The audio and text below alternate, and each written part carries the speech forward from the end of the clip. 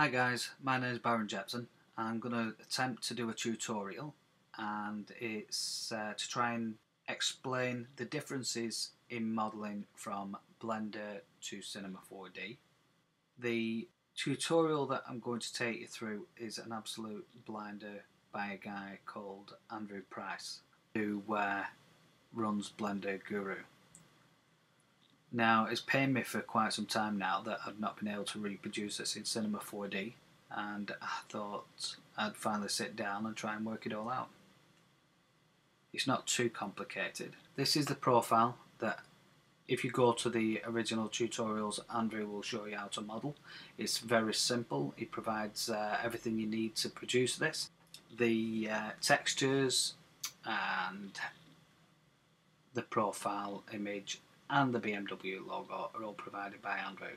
So if you'd like to visit Andrew and maybe, you know, leave him some thanks for sharing. So what we do at this point after modelling this part of the profile,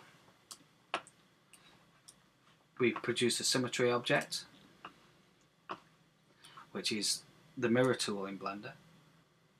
We then need to duplicate this to create the entire profile of the tire. So in Blender they use the array tool. The workaround in Cinema is using the clone tool which is probably too obvious for some people. So here we have it. Just switch off the bend tool, switch it on.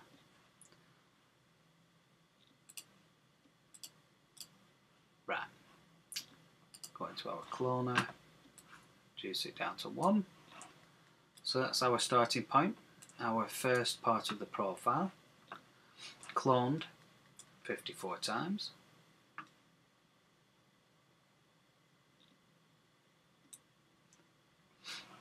Then the bend deformer. If you look at the bend deformer, it's only the approximate size of our starting profile settings are set to unlimited with a strength of 6.945 degrees. Now when you get to this point you need to make sure that the two ends meet nicely and as closely as possible. Now it looks like I've pulled a blinder here and I don't have any gaps or any overlap but this was only achieved through experimentation. So if I just go through that, the stages, and this is approximately where you're going to be. Just keep adding to the profile. That's not good enough. Uh, put the 4 in, and there we go. That's where we have it. Even just one digit, and the gap is huge compared to where we need to be.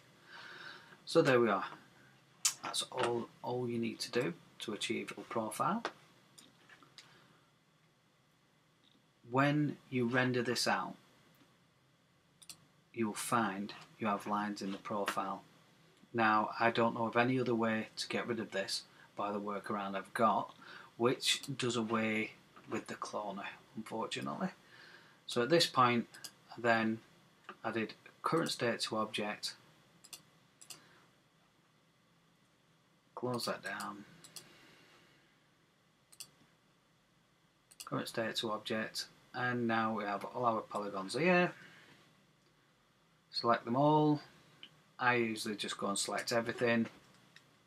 Uh, object, connect and delete. Just rename that.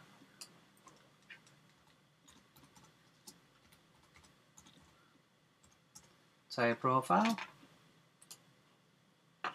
render again and as you can see we still have the lines. The only way to get rid of that problem I have found is to go into select my profile, functions, optimize. I've got it set quite high here. We probably don't need it that high, but it'll ensure that all these points are welded together. Click OK re-render and you'll find that the lines have entirely gone. This is now one entire structure. So if we select any part of it, you'll see it's fully attached. And that's the end of our first tutorial. The final result. There we have it. I hope you enjoyed it. I hope it uh, taught you something. Uh, it taught me something just working it through. And thanks for listening.